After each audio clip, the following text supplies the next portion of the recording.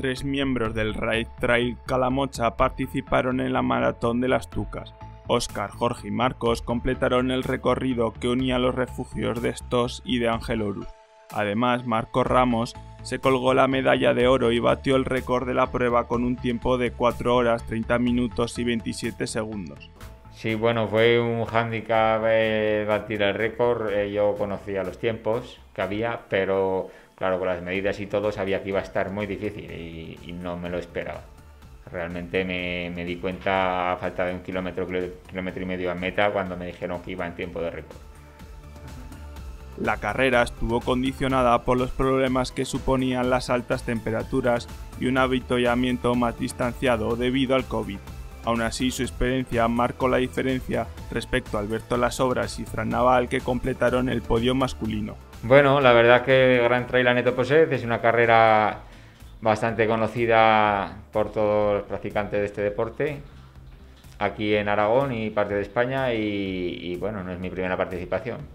Llevo ya corriendo desde en el 2015, la corrí por primera vez y ahí he repetido algún año en intervalos salieron desde la villa de Benasque, rodeando las tucas de Isella, un conjunto de cimas que da nombre a la prueba.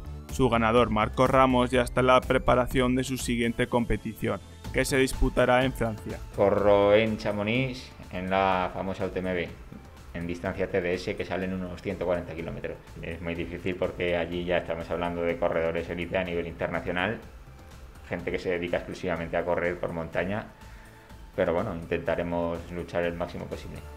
Marco Ramos junto a otros nueve corredores forman el club Ride Trail Calamocha. La iniciativa surgió de tres corredores hace unos años. Este deporte de montaña no se necesita una gran inversión para practicarlo, pero sí que hace falta apoyo económico para competir.